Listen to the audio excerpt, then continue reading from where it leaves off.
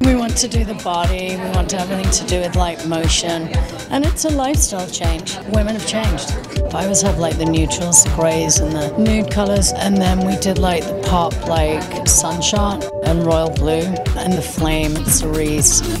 And the shoes, we've done like a sports finish. So we've done like a pull on sneaker with a peep toe, and then the latex sandal. We're just doing a, a beautiful fishtail braid in the back to kind of give it the geometry which really represents VPL. We're taking the Fido products, that wet gel and the spray and some of the creams to give that hair a really, really glassy finish. It's all about mixing lip gloss and uh, this yellow eyeshadow, and we're making this kind of glossy, graphic shape, and it's just a pop of color. There's really nothing else.